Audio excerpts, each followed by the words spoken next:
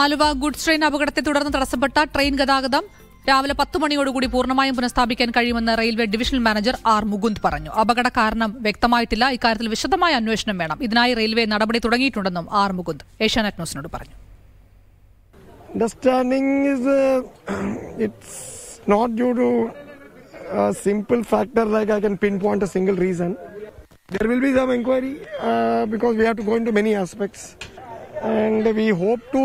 Restore services uh, around nine o'clock or so. And uh, already services are on. One line is already working. Second line we hope to clear it before around nine nine o'clock or so.